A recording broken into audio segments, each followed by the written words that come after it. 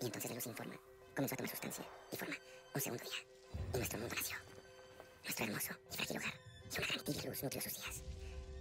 Y una luz menor gobernó sus noches. Y hubo tarde. Y mañana. Otro día. Las aguas del mundo se reunieron. Y en medio de ellas emergió tierra firme. Otro día pasó. Y la tierra esparció las cosas que crecen. Un grueso manto verde se extendió a través de toda la creación. Y las aguas también rebosaban de vida. Criaturas de las profundidades que no son más. Vastas multitudes de peces, algunas de las cuales el cielo estaba repleto de aves. Y hubo tarde. Y hubo mañana. Un quinto día.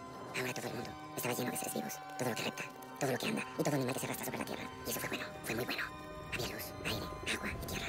Todo limpio y virgen. Había plantas, peces, aves y bestias. Cada uno según su especie. Todo parte de un gran conjunto. Todo en su lugar. Y todo en equilibrio. Era el paraíso. Una joya en la palma del creador. La mujer. El padre y la madre de todos nosotros. O aferrarse a la bendición de la luz.